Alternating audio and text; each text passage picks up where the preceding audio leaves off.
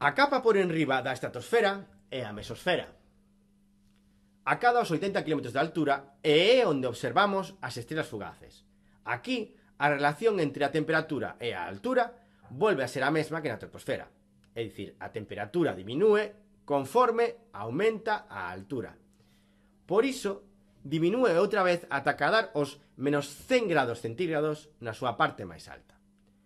Conforme ascendemos máis en altura, o aire presente é cada vez menor e, de feito, esta capa ten tan pouco aire que só representa o 0,1% da masa total da atmosfera.